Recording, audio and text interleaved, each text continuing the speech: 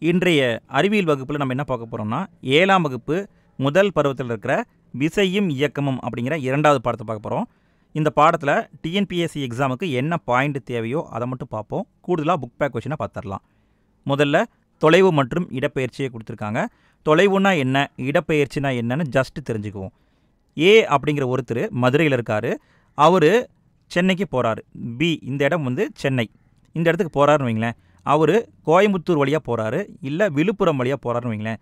அவர் பயணம் பண்ண மொத்த தூரம்தான் தொலைவுன்னு சொல்கிறாங்க அதுவே இடப்பெயர்ச்சினா அவர் மதுரையில் இருந்த இடத்துக்கும் இப்போ அவர் சென்னையில் இருக்கிற இடத்துக்கும் இடையே நேராக ஒரு செங்குத்து கோட்டை போட்டோம்னா அந்த செங்குத்து கோட்டோட மொத்த நீளம்தான் இடப்பெயர்ச்சின்னு சொல்கிறாங்க புரியுதுங்களா? இடப்பெயர்ச்சி அப்படிங்கிறது ரெண்டையும் இணைக்கக்கூடிய ஒரு நேர்குத்து கோடு தொலைவு அப்படிங்கிறது நம்ம பயணம் பண்ண தூரம். குறிப்பாக இந்த ரெண்டுக்கும் அதாவது தொலைவு மற்றும் இடப்பெயர்ச்சி இரண்டுக்கும் இசை அலகு என்னன்னு பார்த்தா மீட்டர். இதை மட்டும் பார்த்துக்கோங்க போதும். அடுத்தது நாட்டிக்கல் மைல் அப்படிங்கிறது கொடுத்துருக்காங்க. ஆகாய விமானம் கடலில் போகிற கப்பல். இதெல்லாம் எவ்வளோ தூரம் பயணம் பண்ணியிருக்கு அப்படிங்கிறத கால்குலேஷன் பண்ண நாட்டிக்கல் மைல் அப்படிங்கிறத வச்சுருக்காங்க. அதாவது நாம் என்ன பண்ணுறோம் தரையில் போனால் இத்தனை மைல் போயிருக்குன்னு சொல்கிறோம்ல கடலில் போனால் அல்லது ஆகாயத்தில் போனால் நாட்டிக்கல் மைல் சொல்கிறாங்க ஒரு நாட்டிக்கல் மைல் அப்படிங்கிறது ஒன்று புள்ளி எட்டு அஞ்சு ரெண்டு கிலோமீட்டர்கள்.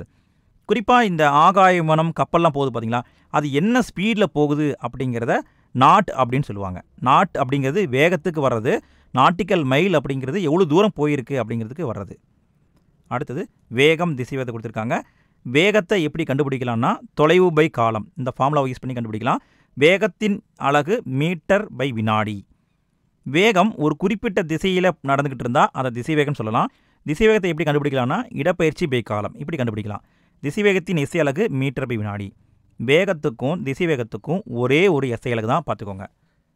அடுத்தது முடுக்கம் அப்படிங்கிறத கொடுத்துருக்காங்க பாருங்கள் முடுக்கம் அப்படின்னா திசைவேக மாறுபாடு வீதம் அப்படின்னு சொல்லலாம். அதாவது ஒரு பொருளோட வேகத்திலேயோ திசையிலேயோ மாற்றம் ஏற்படுது அப்படின்னா அதை முடுக்கம் சொல்கிறாங்க முடுக்கத்தின் இசை அலகு மீட்டர் பை வினாடி ஸ்கொயர்டு. அதாவது மீட்டர் பை வினாடினா வேகம் அல்லது திசை வேகம் அதுவே ஸ்கொயர்டு அப்படி போட்டால் முடுக்கம்.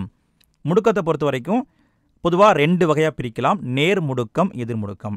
நேர் முடுக்கம்னா ஒரு பொருளோட திசை வேகம் காலத்தை பொறுத்து குறிப்பிட்ட கால இடைவெளியில் அதிகமாயிட்டே போகுது அப்படின்னா அதை நேர் முடுக்கம்னு சொல்கிறாங்க அதுவே குறைஞ்சிக்கிட்டே போனால் அதை எதிர் முடுக்கம்னு சொல்கிறாங்க அடுத்தது சீரான முடுக்கம் சீரற்ற முடுக்கம்னு இருக்குதுங்க.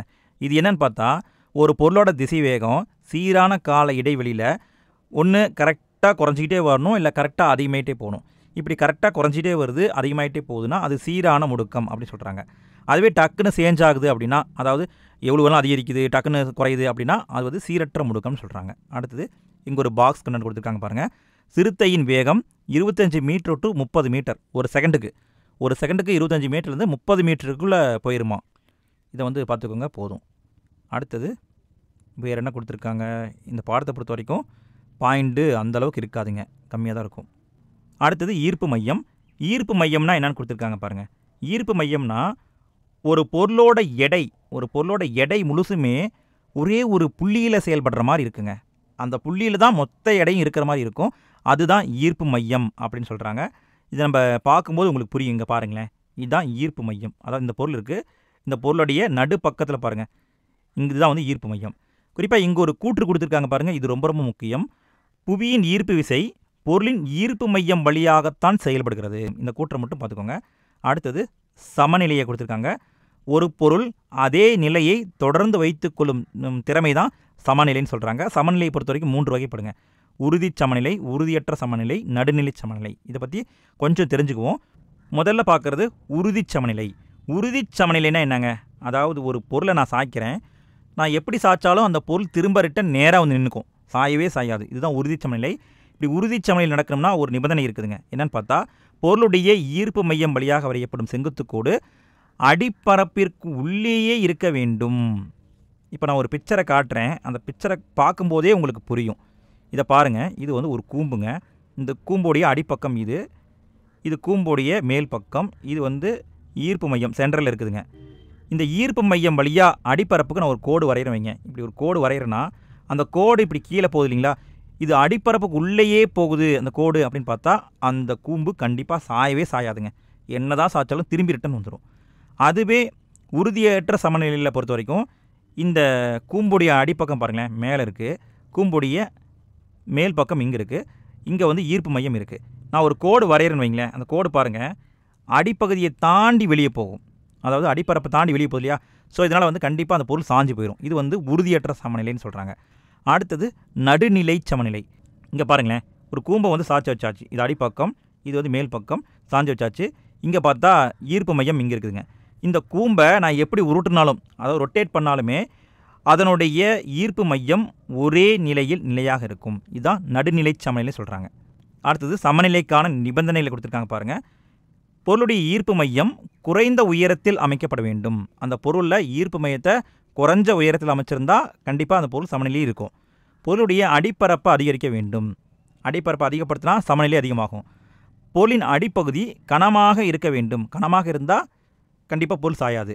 அடிப்பக்கம் அகன்றதாக இருக்க வேண்டும். ஸோ இந்த நிபந்தனைகளாக நம்ம ஒரு பொருளுக்கு வச்சுருந்தோம் அப்படின்னா அந்த பொருள் கண்டிப்பாக சாயாதுங்க. அது நிலையாக இருக்கும். எடுத்துக்காட்டு தஞ்சாவூர் பொம்மை. அடுத்தது ஈர்ப்பு மையத்தின் நடைமுறை பயன்பாடுகளை கொடுத்துருக்காங்க பார்ப்போம். இரண்டு அடுக்கு பேருந்து இருக்குது பார்த்தீங்களா ரெண்டு அடுக்கு பஸ்ஸு அந்த பஸ்ஸில் பொறுத்த வரைக்கும் அடியில் இருக்கிற அடுக்கில் தான் வந்து அதிகமான பேசஞ்சரை வந்து சேர்த்திக்குவாங்க. மேலே ரெண்டாவது அடுக்கு இருக்குது பார்த்தீங்களா அந்த அடுக்கில் வந்து குறிப்பிட்ட அளவு பேசஞ்சரை மட்டும் வைப்பாங்க. அதுக்கு மேலே வைக்க மாட்டாங்க. ஏன்னா ஈர்ப்பு மையம் வந்து கரெக்டாக நிலையாக இருக்கணும். பஸ்ஸு சாயக்கூடாது அப்படிங்கிறதுக்காக. அடுத்தது பந்தய கார்கள். பந்தய கார்களை பொறுத்த வரைக்கும் பார்த்தீங்கன்னா உயரம் கம்மியாக இருக்கும் அகலமாக இருக்கும். காரணம் சமநிலையை அதிகமாக வச்சுக்கணும் அப்படிங்கிறதுக்காக. அடுத்தது மேஜை விளக்குகள் காற்றாடி போன்றவற்றை சமநிலையை அதிகப்படுத்துறதுக்காக அடிப்பரப்பு அகலமாக தயாரிக்கப்படும். இதை மட்டும் பார்த்துக்கோங்க போதும். அடுத்தது இங்கே ஒரு பாயிண்ட் கொடுத்துருக்காங்க பாருங்கள் திசைவேகம் மாறும் வீதம் முடுக்கம் எனப்படும் முடுக்கத்தின் இசை மீட்டர் பை வினாடி ஸ்கொயர். முன்னாடி பார்த்தோம். அடுத்தது புக் பேக் கொஷின் முதல்ல பார்க்குறது சரியான விடையை தேர்ந்தெடுக்கவும். ஒரு பொருளானது ஆர் ஆரம் கொண்ட வட்டப்பாதையில் இயங்குகிறது. பாதி வட்டம் கடந்த பிறகு அந்த பொருளின் இடப்பெயர்ச்சி எப்படி இருக்கும்னா டூ ஆராக இருக்கும். அடுத்தது இரண்டாவது கேள்வி. கீழே கொடுக்கப்பட்டுள்ள திசைவேகம் காலம் வரைபடத்திலிருந்து அப்பொருளானது எப்படி இயங்கிக்கிட்டு இருக்கு அப்படின்னு கேட்குறாங்க இங்கே பாருங்களேன். திசைவேகம் படிப்படியாக இன்க்ரீஸ் ஆகுது. காலமும் படிப்படியாக இன்க்ரீஸ் ஆகிட்டே போகுது. ஸோ அந்த பொருள் சீரான முடுக்கத்தில் இயங்குகிறது. அடுத்தது மூன்றாவது கேள்வி பாருங்கள் கீழே உள்ள படங்களில் எந்த படமானது இயங்கும் பொருளின் சீரான இயக்கத்தை குறிக்கிறது? சீரான இயக்கம் அப்படின்னா இதுதான் பாருங்கள் அப்படி சீராக இயங்கிட்டே இருக்குது அடுத்தது நாலாவது கேள்வி பாருங்கள் ஒரு சிறுவன் குடைராட்டினத்தில் பத்து மீட்டர் பை வினாடி என்ற மாறாத வேகத்தில் சுற்றி வருகிறான். இதிலிருந்து நமக்கு என்ன தெரியுது அப்படின்னு பார்த்தா சிறுவனின் இயக்கம் முடுக்கப்படாத இயக்கம். அதாவது அவனுடைய வேகம் நிலையாக இருக்குது சீரான முடுக்கம் அப்படின்னு கூட சொல்லலாம். அடுத்தது ஐந்தாவது கேள்வி. ஒரு பொருளின் சமநிலையை நாம் எவ்வாறு அதிகரிக்கலாம் அப்படின்னு பார்த்தா ஈர்ப்பு மையத்தின் உயரத்தை குறைக்கிறது. இப்போ தானே பார்த்தோம். அடுத்தது கோடிட்ட இடத்தை நிரப்புக. முதல் கேள்வியை பாருங்கள் இரு இடங்களுக்கு இடையே உள்ள மிக குறைந்த தூரம்தான் இடப்பெயர்ச்சி. திசைவேக மாறுபாடு வீதம் முடுக்கம் எனப்படும். ஒரு பொருளின் திசைவேகமானது காலத்தை பொறுத்து அதிகரித்தால் அந்த பொருள் நேர் முடுக்கத்தில் இருக்கிறது. அடுத்தது நாலாவது கேள்வி பாருங்க. வேகம் காலம் வரைபடத்தின் சாய்வு டேஸ் மதிப்பினை தெரிகிறது. நேர் விகித மதிப்பு. ஒரு பொருள் நகர்த்தப்படும் பொழுது நடுநிலை சமநிலையில் அதன் ஈர்ப்பு மையத்தின் நிலை மாறுவதில்லை. இந்த பாயிண்ட் பார்த்துக்கோங்க போதும். அடுத்தது பொறுத்துக. இடப்பெயர்ச்சியின் அலகு மீட்டர் வெற்றிடத்தில் ஒளியின் திசைவேகம் சீரான திசைவேகமாக இருக்கும். கப்பலின் வேகம் நாட்டு ஒழுங்கான பொருட்களின் ஈர்ப்பு மையம் வடிவியல் மையம் சொல்லுவாங்க. சமநிலை என்பது அகலமான அடிப்பரப்பு.